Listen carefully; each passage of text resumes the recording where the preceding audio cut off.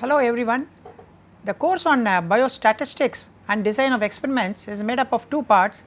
The first part is biostatistics which is relevant to all the biology, um, medicinal chemistry, uh, those who are handling large amount of data, how to get uh, useful information from by looking at this large amount of data. So, it is basically using statistical principles to solve real world problem and that is what biostatistics is all about.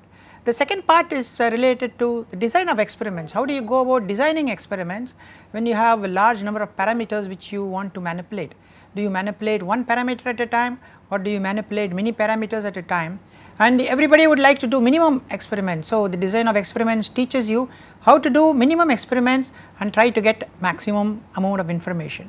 So, these together biostatistics and design of experiments is very relevant for all the UG and PG programs related to biology and allied fields like uh, biotechnology um, and uh, biochemistry and so on and uh, it is very useful for uh, carrying out clinical trials, agricultural uh, research and uh, medicinal chemistry and so on. So, we are going to have 40 lectures um, spread over 8 weeks. So, every week you will be having 5 lectures and at the end of these 5 lectures we will also have a small quiz so that it will tell you um, whether you have grasped uh, these uh, problems and the concepts and at the end of the all we will have a final exam.